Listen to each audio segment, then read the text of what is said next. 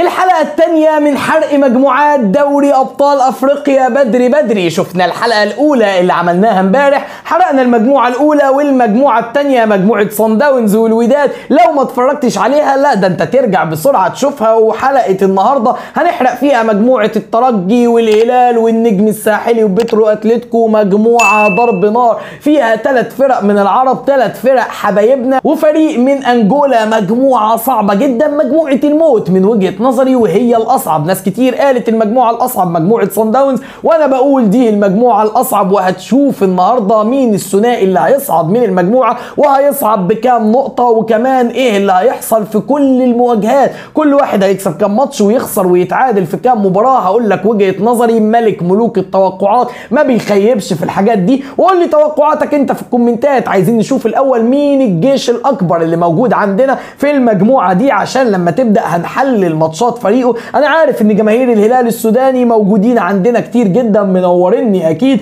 وعارف إن جماهير الترجي برضو كتير. جماهير النجم الساحلي موجودين ولا إيه؟ أشوفكم في الكومنتات ونشوف مين الجماهير الأكبر الهلال والترجي والنجم الساحلي. طبعا ما عندناش جماهير من أنجولا من بيترو أتلتيكو. وتوقعاتكم للمجموعة مين هيصعد أول ومين هيصعد تاني؟ وهقول لكم توقعات أنا. اخبط like للفيديو و share على قد ما تقدر خليه يوصل في كل حتة. اشترك في قناتي على اليوتيوب وفعل الجرس و follow لصفحتي على الفيسبوك عشان يجي لك كل جديد واستنى آخر حلقة في حرق المجموعات. حرق مجموعة الكبير النادي الأهلي وشباب بلوزداد. هتتعمل برضه وهتنزل لك فعشان كده لازم تعمل اشتراك وتفعل الجرس و follow على الفيسبوك عشان يجي لك الحلقة أول لما تنزل. خلينا نقول بسم الله الرحمن الرحيم ونبدأ كده ونصلي على النبي في الكومنتات ونشوف إيه اللي هيحصل في مجموعة صعبة. مجموعة المستوى الأول فيها كان للترجي التونسي ومعاه كمان النجم الساحلي التونسي في المستوى الرابع بتتكلم على ديربي تونسي بتتكلم على ماتشين ديربي في منتهى القوة.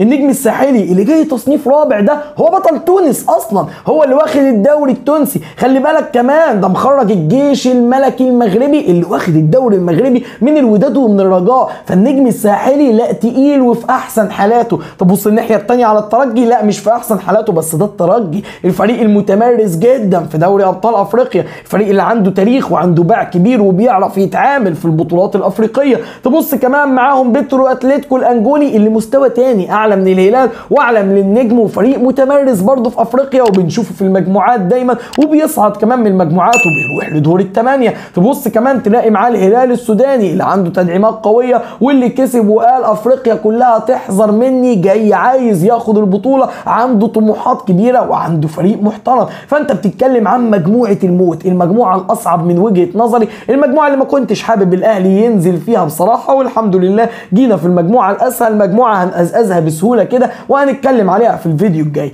خلينا نشوف المجموعة دي إيه اللي هيحصل فيها واحدة واحدة وجولة جولة. بسم الله الرحمن الرحيم. المباراة الأولى الهلال هيكون ضيف عند بترو أتلتيكو الأنجولي اللي بيلعب على ملعبه في أول مباراة وبترو أتلتيكو يكسب الهلال. من أول ماتش ناس فاكرة إن الثلاثه العرب هيسيطروا على المجموعة وبترو أتلتيكو هيبقى سهل لا مفيش الكلام ده. بترو أتلتيكو بيكسب أول مباراة الهلال السوداني وياخد ثلاث نقاط. يصعبوا الدنيا جدا على الهلال ودي توقعاتي والله أعلم. قول لي توقعاتك أنت. تاني مباراة هتبقى ديربي الترجي والنجم الساحلي وهي مباراة الترجي وتوقعاتي فيها فوز الترجي التونسي. عشان يبقى الصدارة للترجي بثلاث نقاط بترو أتلتيكو هو كمان ثلاث نقاط والنجم والهلال إصفار هما الاثنين ودي كده الجولة الأولى. خش لي على الجولة الثانية والهلال يستضيف الترجي على ملعب اللي مش هيلعب في السودان لأن عندهم مشاكل إن شاء الله تتحل ويرجع الهلال والمريخ يلعبوا في السودان وترجع السودان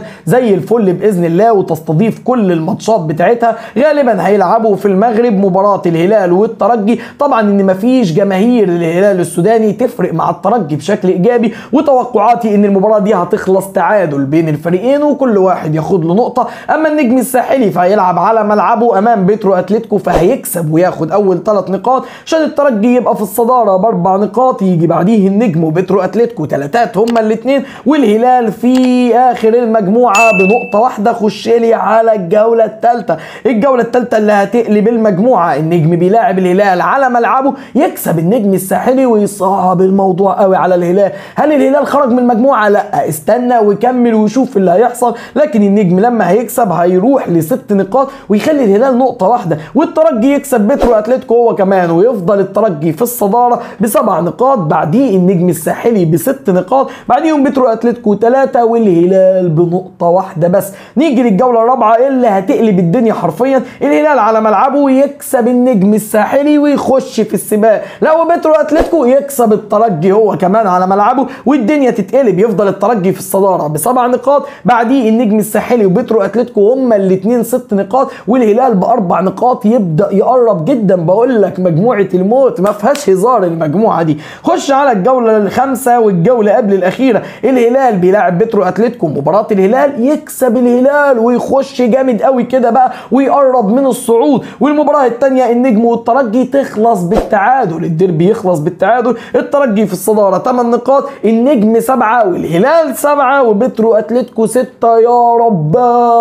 على المجموعة دي. مجموعة هتخلص في آخر جولة. مجموعة هنعرف مين اللي هيصعد فيها. الفريقين في آخر جولة. كل الفرق ليهم الحظوظ قبل الجولة الأخيرة. طب الجولة الأخيرة بتقول إيه؟ الترجي على ملعبه. قدام الهلال وأنا بقول لك الترجي هيكسب ويوصل أول مجموعة والهلال يخرج رسميا من المجموعات. زي ما بيحصل كل سنة مؤخرا بيبقى خصم صعب ورخم في المجموعة لكن في النهاية بيخرج. ده توقعاتي والله أعلم. بترو أتلتيكو بيلاعب النجم الساحلي في ملعبه في أنجولا. مباراة صعبة جدا. تنتهي بالتعادل والنجم يقدر ينتزع نقطة يصعد بيها من المجموعة بصعوبة كبيرة. الترجي يتصدر المجموعة ب 11 نقطة والنجم يصعد في المركز الثاني بثمان نقاط. بعد كده الهلال وبترو أتلتيكو سبعات هما الاثنين مجموعة صعبة جدا في الآخر يصعد منها ثنائي تونس مع بعض. الترجي والنجم كمان. ويخرج الهلال السوداني ويخرج معاه بترو أتلتيكو بعد ما عملوا ماتشات جامدة جدا. بعد ما كان الفرق بينهم وبين النجم اللي صعد نقطة واحدة بس في مجموعه المجموعة الأصعب من وجهة نظري. قولوا لي توقعاتكم في الكومنتات. لو أنت من مشجعي الهلال قول لي شايف إن الهلال هيصعد ولا لأ وهيصعد في المركز الكام. ولو أنت بتشجع الترجي أو النجم الساحلي قول لي برضو توقعاتك إيه. لو أنت شايف إن النجم هيتصدر قول لي في الكومنتات ونتناقش مع بعض. وبترو أتلتيكو هل هيكون خصم سهل ولا هيرخم كتير جدا على الثلاث فرق التانيين؟ مستني توقعاتكم مستني كومنتاتكم وقول لي رؤيتك لمجموعة النادي الأهلي اللي هتتعمل الحلقة الجاية. فعشان كده اخبط اشتراك دلوقتي وفعل الجرس على اليوتيوب واعمل follow على الفيسبوك عشان يجي لك كل جديد. لايكات للفيديو share على قد ما تقدر. خلي الحلقة توصل في كل حتة ونسمع آراء وتوقعات الناس. سلام.